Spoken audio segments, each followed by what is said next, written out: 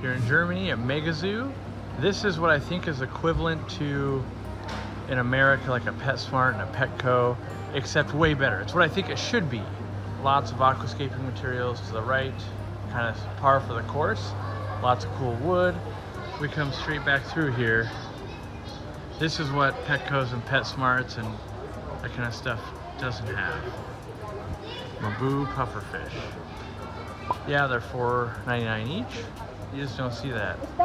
Also um, have Leopoldi. Not Leopoldi. Let me think. Yeah, maybe they are Leopoldi. But stingrays nonetheless. Arowana. You've got rams, both the, the black rams and these normal blue rams. This guy needs some TLC. You need some help, bud. This one's looking real good though.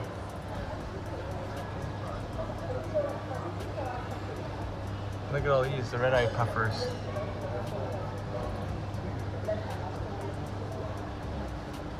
And then you can see all these little planet tanks. Ooh, what's this? That's that little guy right back there. I don't know what fish that is. Plants for sale.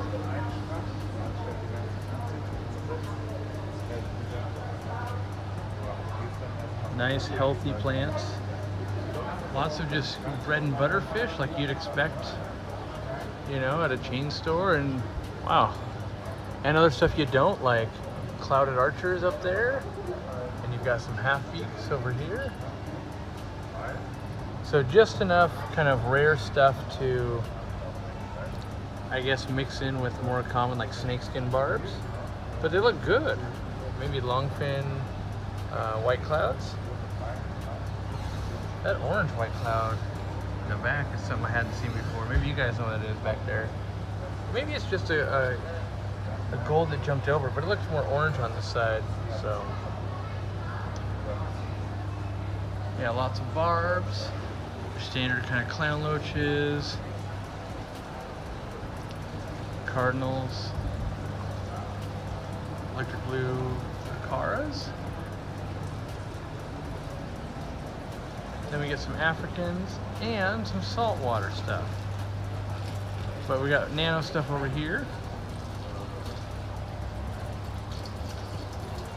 Some green neon rasboras. Ooh, it's nice, large neon tetras. Looking good. The Rachovii Achille, Nothobranchius rachovii, and their pairs. Normally you only find the males, but boy and girl in here. So that's something you don't see every day. This killifish doesn't live very long, so you have to breed them like every 18 months or less. Mostly like every year. It's like zebra otocinclus back there. Oh, won't focus, focus. There we go. Nice, Sultan Pleco. And down here you've got uh, Royal Plecos, some floating around Buce, tissue culture plants. This could be something similar I would do in the store, kind of a display like for a grocery store. Not bad. You can bring your CO2 in and get it replaced or re repressurized. On this side, some more nano stuff, some more shrimps. Can see a nice pair, some nice crimps down here. Yeah, looking real good. Might be Nigerian reds. Some koi guppies. Ooh, the kitty tetra. I love the kitty tetra. These are one of my favorite tetras in Escape. Speaking of Escape, so yeah, saltwater We've got a beautiful saltwater tank over here, but I'll show you the beautiful escaped planet tanks. So those eat like saltwater. This could get people into saltwater. Imagine this your local pet store. Kessil lighting. And then you've got over here, IAP LC local employee that manages all these tanks. This is his tank. We had to get special permission to film here because they didn't want to let us. Lots of uh, ADA stuff. Lots of dry goods, lights. Honestly, it's just, you know, imagine you just go to your local store and they have Kessil lighting, all this different LED lighting. They've got Fluval lighting sitting towards the ground, replacement gaskets, parts, all the parts for Eheim. I fell in love, Corey. I see.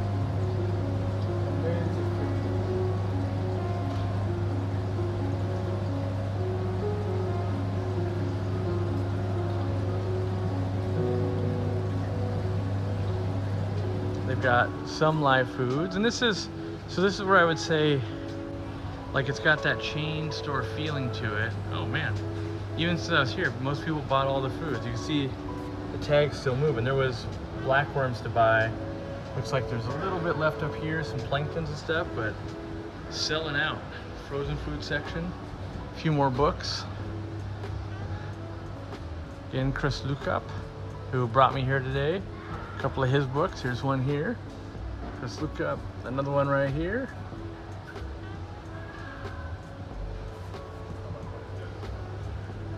But yeah, golden pods, huh? Nice. But yeah, kind of a. I don't know. It's cool. You, it's cool to see actual hobbyists working at the store instead of just someone who needed a job. It's hobbyists that are doing the scape tanks, the saltwater tanks, different setups. Wow, that's cool. I hadn't seen that before. See how it's lit up down there? It looks bad on camera because it's blinking, but it doesn't blink in person. So these are Eheim tanks.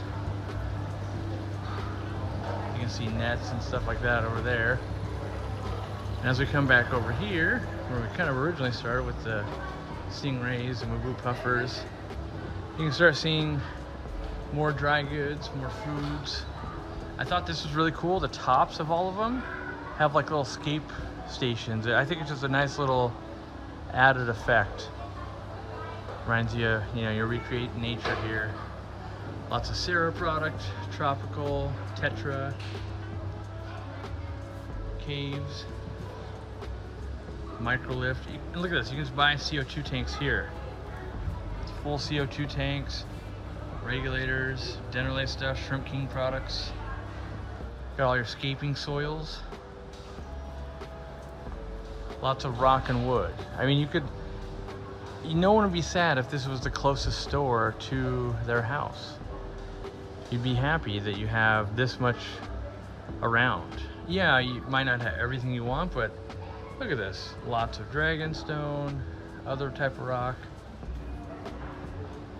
As much wood as you can want to try. And it's, you know, if you look around, it literally is a chain store like in America, except they actually do aquatics right. Scaping station here. So you can play with the wood and the rocks, make what you want to make.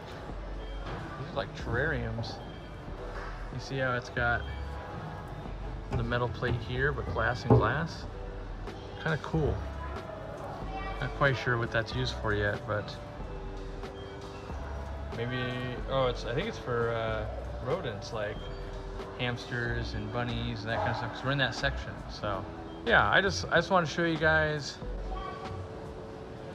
what a chainsaw is like in Germany. It just and to me it's so much better than America that I know America can do better. If their version of a Home Depot can even do better we can do better all right so that's a tour of the German chain store.